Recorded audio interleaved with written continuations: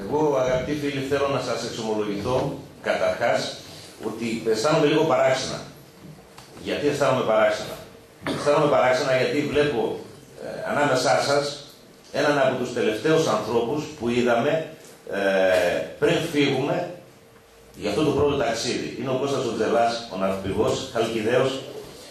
Και γιατί τον αναφέρω; Γιατί ήταν ο ελεγκτής του ελληνικού νεογνώμονα που έκανε ε, τον τυπικό έλεγχο που πρέπει να γίνει σε αυτές τις περιπτώσεις σε ένα ψαροκάικο που βιαστικά είχε μετασκευαστεί ε, σε επιβατικό αναψυχής νομίζοντας ότι κάποιοι τρελοί και ιδιόμορφοι επιστήμονες ξέρω εγώ και τίποτα άλλο ε, θέλουν αυτό το ξύλινο ψαροκάικο για να πάνε να κάνουν κουραζιέρα στο Αιγαίο.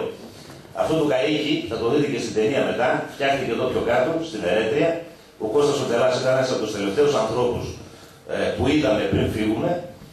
Λες σε κάτι διαισθανόταν, έκανε πολύ αυστηρό έλεγχο, λέγοντάς μας άσχετοι είστε από θάλασσα, πού θα πάτε, προσέξτε τούτο, προσέξτε τ' άλλο κλπ. Βγάλτε το στη θάλασσα, ξαναβάλτε το μέσα, όταν και την άλλη μέρα ξαναβγάλτε το πάλι. Ε, εγώ στο τέλος κάπου είχα γραμματίσει και έλεγα να το πετάμε στη θάλασσα να ησυχάσουμε ε, αυτόν, αλλά ήταν ένας από τους πρώτους που όταν γυρίσαμε από τη Γάζα ε, μας τηλεφώνησε και ήρθαμε και βρεθήκαμε εδώ ξανά και λέει παιδιά γιατί δεν είπατε τίποτα; Να βοηθάγαμε όλοι πιο πολύ. Λοιπόν, αυτό είναι το παράξενο συνέστημα που ήθελα να εξομολογηθώ. Ε, τα πράγματα έχουν αλλάξει. Πριν από 1,5 χρόνο, στα κρυφά, λες και ήμασταν κλέφτες, ενώ ήμασταν καθώς πρέπει άνθρωποι όλοι, ε, που πληρώνουμε τους φόρους μας κλπ. κλπ.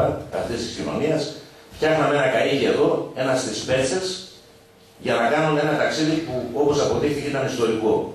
Μετά από 41 χρόνια έσπασε ο αποκλεισμός της Γάζας. Από αυτά τα δύο μικρά μετασκευασμένα ελληνικά ψαροκάικα που κουβαλούσαν 44 ανθρώπους από 13 διαφορετικές χώρες, ανάμεσά τους 9 Έλληνες.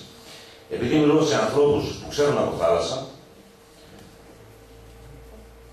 νομίζω ότι μπορούν να καταλάβουν καλύτερα από τους Στεριανούς ή τους Βουνίσιους τι σημαίνει να ζεις δίπλα στη θάλασσα, όπως οι κάτοικοι της πόλης της Γάζας, και για 41 χρόνια να μην έχεις δει ένα κατάρτι να φτάνει στο λιμάνι. Μπορείτε να το καταλάβετε, πιστεύω, καλύτερα από τον καθένα. Γι' αυτό και η υποδοχή ε, που είχαμε εμείς ήταν κάτι το ανεπανάληπτο, ήταν για όλους μας ανεξάρτητα ηλικίας, ο μικρότερος ήταν 22 ετών, ο μεγαλύτερος ήταν, η μεγαλύτερη μάλλον, μια Αμερικανίδα καλόγρια, ήταν 81, ήταν η πιο συγκλονιστική εταιρεία της ζωής μας. Και γι' αυτό θα συμφωνήσω με τον Ασίμ. Το μήνυμα που θέλουμε να δώσουμε ήταν ότι δεν έχουμε ανάγκη τη διπλωματία των κυβερνήσεων. Απλοί άνθρωποι, αυτό που λένε άνθρωποι της διπλανής πόρτας, μπορούν να κάνουν τη δική τους διπλωματία, τη διπλωματία των λαών. Τώρα τα πράγματα είναι διαφορετικά, όπως είπα. Τώρα έχουμε μια διεθνή συνεργασία, η οποία έχει αρκετές συνιστώσεις, είναι το Free Gaza Movement, το κίνημα αυτό το διεθνές, στο οποίο ήμασταν και εμείς μέλη και οργάνωσε εκείνη την πρώτη αποστολή, είναι η τουρκική ανθρωπιστική οργάνωση IHH, είναι Παλαιστίνη της Διασποράς που συσπηρώνονται γύρω από την ευρωπαϊκή καμπάνια για τον τερματισμό της πολιορκίας της Γάζας. Είμαστε εμείς, η ελληνική πρωτοβουλία Ένα καράβι για τη Γάζα και είναι και οι Σουηδοί φίλοι και σύντροφοί μας που χωρίς να έχουμε καμία επαφή και χωρίς να έχουμε προσυνοηθεί έχουν το ίδιο όνομα με εμάς. Σιτ του Γκάζα, ένα καράβι για τη Γάζα. Αυτή τη φορά έχουμε 8 σκάφη, κανονικά σκάφη, όχι ψαροκάικα, Τρία φορτηγά ανάμεσά τους, πέντε επιβατικά. Σκάφη που μπορούν να πάρουν 500 ανθρώπους, φορτηγά που μπορούν να πάρουν 5.000 τόνους φορτίο και αυτό το φορτίο συμβολικό θα είναι πάλι γιατί κανένας δεν μπορεί να λύσει τα τεράστια προβλήματα της Γάζας ούτε με 3 ούτε με 13 φορτηγά που θα πάνε μια φορά, αλλά θα είναι φορτίο κυρίως με υλικά νοικοδόμηση, τσιμέντο, σίδερο, ξυλία, προκατασκευασμένα σπίτια. Θα είναι εξοπλισμός για νοσοκομεία, και θα επιχειρήσουν, πιστεύουμε με επιτυχία, να σπάσουν την πολιορκία της Γάζας για μια ακόμη φορά και να μεταφέρουν στον αδελφό Παλαιστινιακό λαό ένα μήνυμα αλληλεγγύης και ελπίδας. Όχι, δεν θα απελευθερώσουμε εμείς τον Παλαιστινιακό λαό. Τον Παλαιστινιακό λαό θα τον απελευθερώσει ο αγώνας. Αυτός ο αγώνας που δίνει αδιάλειπτα 62 χρόνια τώρα παρά τους ποταμούς αίματος που έχει χύσει και που εξακολουθεί να χύνει. Αυτός ο λαός είναι ένας φωτεινός φάρος για όλους μας. Τι ζητάμε; Ζητάμε από όλους να αγκαλιάσουμε αυτή την πρωτοβουλία. Ξέρουμε ότι στη Χαλκίδα έχει γίνει μια πάρα, πάρα πολύ καλή δουλειά και αυτό αποδεικνύει άλλωστε και η παρουσία όλων εσάς εδώ πέρα σήμερα. Θέλουμε να είστε μαζί μας μέχρι το τέλος, να είστε κομμάτι αυτής της πρωτοβουλίας, όπως είπε και η Χρήστα στην αρχή. Αυτή η πρωτοβουλία είναι μια πρωτοβουλία που ξεκίνησε από τα κάτω. Δεν είναι κάποιο κόμμα, ούτε μη κυβερνητική οργάνωση, δεν είναι τίποτα τέτοιο. Είναι μια πρωτοβουλία ανθρώπων. Ο καθένας έχει τη θέση του σε αυτή την πρωτοβουλία.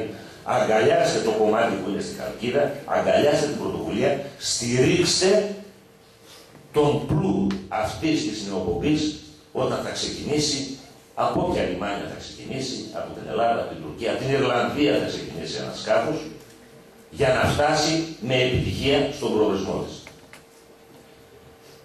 Και να πω και κάτι για την ταινία που θα δείτε μετά, αυτή η ταινία δεν είναι ούτε κινηματογραφικό, ούτε τηλεοπτικό αριστούργημα. Εγώ θα την ε, παρομοίαζα ε, με την κατασκευή μιας κουρελούς. Οι άνθρωποι της ηλικίας μου και οι μεγαλύτεροι ξέρουν τι είναι κουρελού. Από κουρέλια φτιάχνεται ένα κομψοτέχνημα. Έτσι λοιπόν, από κουρέλια, από σκόρπια πλάνα που μαζεύτηκαν από εδώ και από εκεί με μεγάλη δυσκολία, γιατί δεν υπήρχε κινηματογραφικό υλικό, φτιάχτηκε αυτή η ταινία. Και όμως πήρε το πρώτο βραβείο, που είναι το βραβείο κοινού, στο τελευταίο πριν από 20 μέρες, ε, στο 12ο Φεστιβάλ Ντοκιμαντέρ Θεσσαλονίκης που ονομάζεται Όψεις του 21ου αιώνα, ε, νίκησε ταινίες γνωστών δημιουργών και από το εσωτερικό και από την Ελλάδα. Για ποιο λόγο; Νίκησε το θέμα της ταινίας. Δεν νίκησε η ταινία ως καλλιτεχνική υπόσταση. Που υπάρχει και αυτή. Όπως και μια κουρελού έχει καλλιτεχνική υπόσταση. Παλιά στα χωριά της πετάγαμε, αλλά τώρα τις πουλάνε στις αντικέδη. Έτσι δεν είναι. Έτσι είναι και αυτή η ταινία.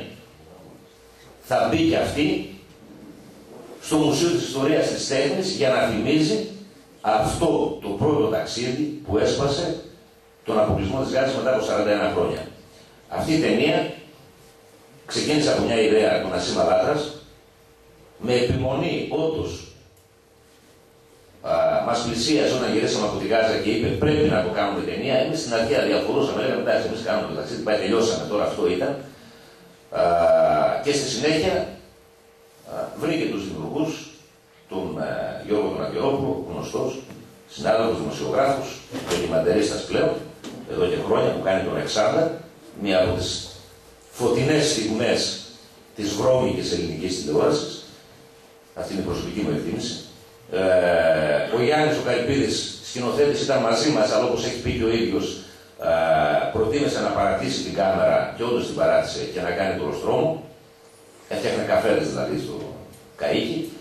Ε, ο Νασίμ είχε την ευθύνη της παραγωγής. Ε, ήταν ο Περατέρ, γιατί πρέπει να τους αναφέρουμε όλους, ήταν ο Γιάννης ο Αγερόπουλος και ο Γιώργος Αλεξόπουλος, η πολίτης ο Κώστας ο Καταληματίας, τη μουσική, μια εκπληκτική μουσική πρωτότυπη έγραψε ο Γιάννης Παξεβάνης και πρέπει να σας πω ότι δεν είχε δει ούτε ένα πλάνο της ταινίας όταν έγραφε τη μουσική, περιγραφές που κάναμε και θα καταλάβετε μετά όταν δείτε την ταινία τι σημαίνει αυτή η μουσική. Συνεργάστηκαν κάποιοι δημοσιογράφοι μεταξύ των οποίων και ο Μιλών. Ελπίζω να μην ξε... Το σενάριο έκανε ο Νικόλαος Τριγάνος, εξαιρετικός συνάδελφος στην Κυριακάτη και Ελευθεροτυπία και ε, ασχολείται πολύ με το ντοκιμαντέρ εδώ και χρόνια και την παραγωγή είχε η Small Planet και η Αναστασία Σκουμπρί. Ευχαριστώ και πάλι και σταθείτε δίπλα στην πρωτοβουλία μέχρι το τέλος. Θα είναι μια νίκη του ελληνικού λαού αν αυτά τα σκάφη φτάσουν στη Γάζα και πρέπει να φτάσουν στη Γάζα. Ευχαριστώ.